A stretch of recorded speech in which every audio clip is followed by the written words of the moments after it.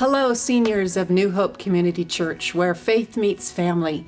Please consider joining us on Tuesday, April 9th for a potluck lunch, a devotion led by Pastor Tim to prepare our hearts for Easter, and celebrating communion together. Following those things, we will have an Easter egg hunt where the winners will be able to donate all the proceeds to the local charity of their choice. Please join us. The next men's breakfast is on April 13th. Coffee's on at 7:30 and we eat at 8.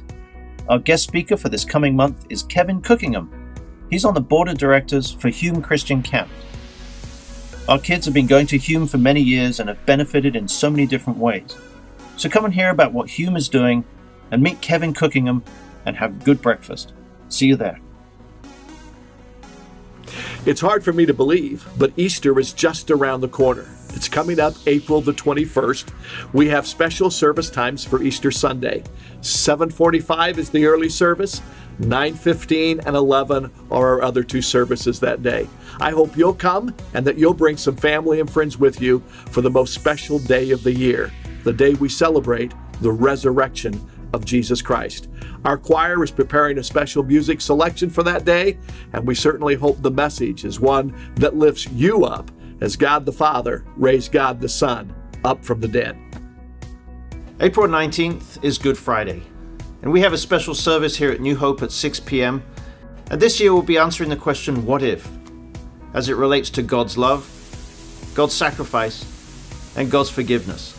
So come and join us on Good Friday as we remember the crucifixion of our Lord Jesus Christ. We'd love to see you there. Good morning, ladies. You wanted a book club? We didn't give you one.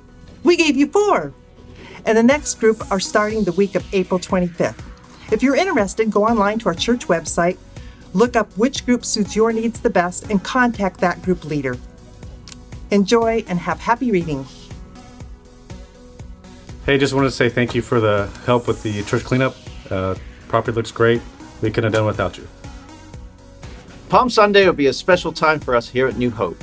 Our kids will be performing in their Easter choir, as well as providing the narrative of the Easter story. So come along on Palm Sunday, support the kids, and hear the Easter message from a kid's perspective.